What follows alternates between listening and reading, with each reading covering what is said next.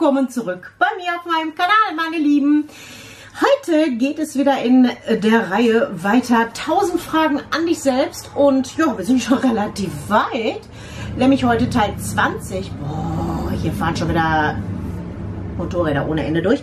Ja, 1000 Fragen an dich selbst, Teil 20 und fangen wir einfach mal an mit Frage 401. Was isst du am liebsten, wenn du frustriert bist? Ach Gottchen. Also ich glaube, äh, die meisten würden sagen Schokolade, ne? Aber das geht mir eigentlich nicht so. Wenn ich frustriert bin. Eigentlich esse ich dann nicht, wenn ich frustriert bin. Früher habe ich immer viel geraucht. Ja, das muss ich so sagen. Früher habe ich viel geraucht, aber wenn ich frustriert bin, also ich bin da jetzt nicht jemand, wo ich sage, ähm, dann haue ich mir mal aber mal richtig hier äh, einen rein. Nö, auch gar nicht. Nö. Also da habe ich irgendwie nichts. Nö. Auch keine Schokolade, auch keine Bömse. Nein. Frage 402. Hast du mal etwas übernatürlich oder unerklärlich? Mein Gott. Etwas Übernatürliches oder Unerklärliches erlebt? Ja. Da waren wir Kinder als Kinder macht man ja oft Blödsinn. Und ich sag euch eins. Wir waren bei meiner besten Freundin da. Ich, ich werde das auch nie vergessen. Ne? Das sind so komische Sachen, die man nie vergisst. Wir waren bei, bei meiner besten Freundin im Keller damals. Ähm, war auch meine Nachbarin und so. Und ähm, da haben wir auch irgendwie, glaube ich, Seance abgehalten oder so. Ich kriege das nicht mehr so auf Kette, aber ähm, im Dunkeln. Und dann habe ich irgendwie gesehen, dass bei irgendeiner Kopf bei irgendeiner, bei irgendjemand fehlt auf einmal jemand der Kopf. Das war nicht so angenehm. Da war der Kopf weg und als wir dann das Licht ausgemacht haben, hat die Glühbirne, also die, die hat so ge, gewackelt. Oh. Oh. An der Decke. Und wir sind alle rausgelaufen aus dem Keller. Ja. Tanja, kannst du dich noch daran erinnern, falls du zuguckst? Ähm, das war für mich übernatürlich. Ja. Hm. Wenn ich so an jetzt denke und die Filme und so, wer weiß, vielleicht hatten wir einen kleinen Toby da. Oh Gott, oh Gott. Das war so das Einzige eigentlich, sonst, äh, sonst nichts, ne. Gut, wir, wir, haben immer gedacht, früher, als wir beim, beim Üben waren, aber wir waren immer, fre also freitags war immer Übungsstunde bei uns vom Spielmannzug und dann waren wir halt unten im, im Keller der Realschule und wenn wir dann abends so hochkamen und da waren dann alles voller Sterne und so, haben wir ja dann auch immer äh, Außerirdische gesehen, ja, ja die mit einem Raumschiff gekommen sind. Wie funktioniert das? Ich kann das nicht. Ja. So, Frage 403. Welche Herausforderung musst du noch bestehen? Die Herausforderung, im Leben ruhiger zu werden. David sagte man, nimm deine Vitamin D-Tabletten. Ja, das muss ich. Ich gehe mal hoch wie ein Zäpfchen. Ja. Das ist so die Herausforderung. Werd mal ruhiger im Leben. Aber ob das noch funktioniert, ich weiß es nicht. Es bringen mir aber auch Leute immer oft genug auf die Palme. Das ist es auch noch, ne? Und dann, ja, gehe ich halt ab wie Schmitz Katze. So, Frage 404. Wer hat dich in deinem Leben am meisten beeinflusst? Negativ oder positiv? am meisten beeinflusst. Ja, da wird jetzt David sagen, meine Mutter hat mich am meisten beeinflusst, aber das war nicht positiv. Warum bin ich denn schon wieder dunkel? Das war eher negativ. Positiv beeinflusst hat mich eigentlich immer David auch. Ja. Gerade in dieser Situation, wo wir uns äh, befunden haben, als Monique geboren wurde. Ja. Aber so negativ, ja, hm, na. Gott, oh Gott. Ey, machen wir lieber die nächste Frage, ist besser. Frage 405. Was ist kleines Glück für dich? Ja, das habe ich vor. Ah, das, nein, das kann sich keiner, glaube ich, vorstellen. Kleines Glück für mich ist. Weil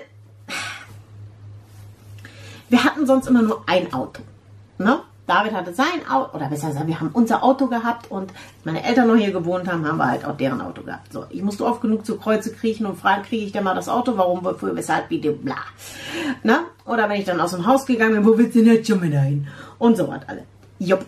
Und jetzt ist für mich kleines Glück, ich habe mein eigenes Auto und ihr glaubt nicht, für mich ist kleines Glück, mich in dieses schnucklige kleine Auto zu setzen, wo hinten Schminki-Eis draufsteht und einen Ort weiterzufahren nach Rossmann. Ohne mich erklären zu müssen. Ohne mich irgendjemand erklären zu müssen. Wo gehst du hin? Wann kommst du wieder? Warum gehst du dahin? Wie viel Geld hast du ausgegeben? Muss das jetzt schon wieder sein? Bliblablub. Das ist für mich kleines Glück. Ob man glaubt oder nicht, das ist für mich kleines Glück. Das ist so Leben in Freiheit. Ja. Das ist verrückt, aber es ist so. Frage 406. Tust du manchmal etwas aus Mitleid? Oh, ja, leider zu oft. Und was passiert dann zu oft? Ich falle auf die Schnauze. Ja. Aber man lernt ja daraus, also sollte man annehmen und äh, da bin ich echt mal auch, jetzt habe ich auch den Kaffee auf, ne? Jetzt ist da auch irgendwie Schluss mit lustig. Ähm, äh, ne, Donner alle bleiben oder Pfeffer wächst dann, mir egal. Ja, es ist manchmal so, ne, da kannst du echt... Pff, was willst du da noch? Ich muss mal eben hier ein bisschen Handcreme nehmen, ne? Was willst du da noch? Nee, nö. Ich habe so viel aus mein Gott, was ist hier los, ne? So viel aus Mitleid dann auch gemacht und geholfen und getan und tralala und nö. Mag ich nicht mehr. Du bist dann ausgenommen wie eine Weihnachtsgans. Über dich wird schlecht gesprochen und äh, Sachen gesprochen, die du wahrscheinlich irgendwie äh, gar nicht gemacht hast. Und ach nee, komm, das stecken, ey, ehrlich. Schon so oft auf die Schnauze geflogen. So, Frage 407. Wann hast du zuletzt einen Abend lang nur gespielt? Ja, das war Silvester. Obwohl, da haben wir nicht nur gespielt, aber, aber viel. Ich glaube sonst nicht. Boah, nee. Ich komme gar nicht mehr zum Spielen. Wir haben ja wirklich, wir sind eine Videospielfamilie. Monika hat äh, Videospiele in ihrem Zimmer ohne Ende. Wir haben die Switch, wir haben, ach, NES, Super Nintendo, äh, 3DS, DS, äh, Game Boy Advance, ähm, ähm, Wii, Wii U, Switch. Also wir haben genug zum Spielen, aber ich komme im Moment nicht dazu. A, habe ich äh, viel auf viel Arbeit hier zu Hause und auf Arbeit. Und äh, ja, ich habe halt mein Hobby hier und das ist mein YouTube-Kanal. Und da stecke ich viel Liebe, viel Zeit rein. Deswegen spielen meistens nicht. Und wenn wir etwas Zeit haben, dann fahren wir meistens irgendwo hin und haben einfach mal einen schönen Abend. Jupp. Ähm, Frage 408. Bist du gut in deinem Beruf? Also ich habe ja Fleischreifachverkäuferin gelernt und ich muss echt sagen, ähm, Eigenlob stinkt ja, aber das ist egal. Ich finde, ich habe meine Arbeit immer sehr gut gemacht. Ich war im zweiten Lehrjahr schon quasi, habe ich den Laden mit meiner Kollegin geschmissen, die im dritten Lehrjahr war, wenn unsere Ausbilderin im Urlaub war. Also ich glaube, so schlecht könnte ich nicht gewesen sein. Und ähm, ja, ich war sehr, ich fand, ich war sehr gut in meinem Beruf.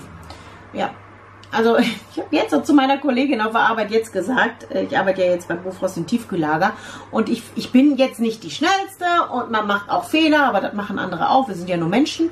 Und ähm, da bin ich jetzt nicht die Beste, aber ich finde, ich mache meine Arbeit da gut bei minus 24 Grad. Und ja, sie macht mir Spaß. Und ich habe jetzt aber meine Kollegen gesagt, ich so, weißt du, komm, ich mache dann selber habe ich dann dann mache ich es lieber selber, habe ich gesagt. Ich so, das ist wie früher in der Lehre. Wenn die, die unter mir kam, ähm, nicht vernünftig fegen konnte, weil runde Ecken, ne? Oh mein Gott, da habe ich gesagt, komm, gib den Besen mal ich selbst. Dann weiß ich wenigstens, das ist vernünftig gemacht und es ist heute noch gemacht und nicht erst äh, in drei Tagen. Ob die das dann wahrscheinlich extra gemacht haben, genau wie ein Klotzkratzen. Wir haben so einen Klotz auf der Arbeit gehabt, wo wir unsere Koteletts gehackt haben mit einem Hackebeil und so und das musste ja abends abgekratzt werden. Und wenn ich dann gesehen habe, wie andere das machen, meine Arbeitskollegin, äh, meine Ausbilder hat immer gesagt, komm Steffi, kratzt du mal den Klotz, da gibt stramme Arme, dicke Brust. Ich habe blaue Flecken. Jetzt wisst ihr auch, stramme Arme, dicke Brust, woher die kommen. Vom Klotzkratzen. Da habe ich aber auch immer tausendmal gesehen, komm ey, dann mache ich lieber selber, ne? Schnarchnasen manchmal. Ja. Frage 409. Wen bewunderst du? Äh, manchmal mich selbst. Wie ich das alles, oder uns besser gesagt, David und mich, wie wir das alles so in den 20 Jahren geschafft und gepackt haben. Ja. Ich bewundere jeden, der ein besonderes Kind hat, der ein krankes Kind hat, dem da kann man nur den Hut vorziehen und bewundern, was da für Arbeit hintersteckt, für Leid hintersteckt, ähm, was da viele nicht sehen. Das ist einfach so, äh, man gibt so viel auf und gerade wenn man auch einen Pflegedienst zu Hause hat und sowas, alle, man hat da kein Privatleben mehr. Da ist nicht mehr, ich spring mal eben nackig aus der Dusche und tralala. Mm -mm. Oh Mann, also da hab, hab ich sehr drunter gelitten. Weißt du, wenn du abends von der Maloche nach Hause kommst und dann sitzt da einer auf der Couch, hallo Frau Bölz! Und äh, meine Mutter noch dazu. Das heißt, du hast gerade Feierabend, hast sechs oder acht Stunden gearbeitet und dann sitzen da zwei, die dich voll schwafeln, ne? Aber wirst du aggressiv. Da wirst du aggressiv, da geht gar nicht. Nee, nee, nee, nee, nee. Und dann noch Krankenschwestern, die quasi sich dann beim Chef vom Pflegedienst beschweren, weil wir äh, im Schlafzimmer dann auch was machen. Auf 59 Quadratmeter lässt sich das schwer vermeiden, dass man auch mal was hört. Ja. Ich weiß auch nicht. Also, Frage 410. Hast du eine gute Gewohnheit, die du jedem empfehlen würdest? Aufräumen. ja. Also, das ist meine gute Gewohnheit, glaube ich, aufräumen. Ich räume irgendwie hinter allen und jeden her hier in diesem Haushalt. Obwohl der Experte sich jetzt schon gebessert hat, als ich abends dann immer oder morgens aufgestanden bin jetzt, wo ich gearbeitet habe, so viel, standen die Schuhe, wo sie auch hingehören, nämlich im Flur. Und die Jacke hing auch im Flur und nicht über dem Stuhl im Wohnzimmer. Ja. Wie heißt das immer? Wer, wer aufräumt, ist zu faul zu suchen, ne? Ja, ich bin zu faul zu suchen, Entschuldigung. Was habe ich denn hier? So, Frage 411. Was überspringst du in der Zeitung? Meistens im Politikteil. Den gucke ich mir dann lieber im Fernsehen an. Allerdings habe ich schon ewig keine Tageszeitung mehr gelesen. Weder Bild noch irgendwie Donaukurier hier bei uns oder so. Nö. Wird ja eh, ach, es steht ja immer noch dasselbe drin in der Bild, ne? Frage 412. Was machst du, wenn du graue Haare bekommst? Ja, dann bekomme ich ja graue Haare. Ich färbe ja meine Haare. Herrgott, kleine Fliege. Ich färbe ja meine Haare eh immer. Also, ähm, Ne? Da kann man da sagen, könnte ja auch grau sein. Was ist denn das hier? Ich habe irgendwo eine Wimper, die mich stört, die mich zwickt. Hallo? Ich habe hier eine Wimper, das ist ganz komisch. Die schaut nach unten. Das ist ganz blöd. Naja, hm, ja. Genau. Also, ganz normal weiterleben, wie sonst auch. Frage 413. Was war auf deinem letzten Instagram-Foto zu sehen? Foto? Ich mache so selten Foto, aber das war ich. Ich mache eher eine Story. Also das war ich mit einem Bild vom, vom Schminki. Ja.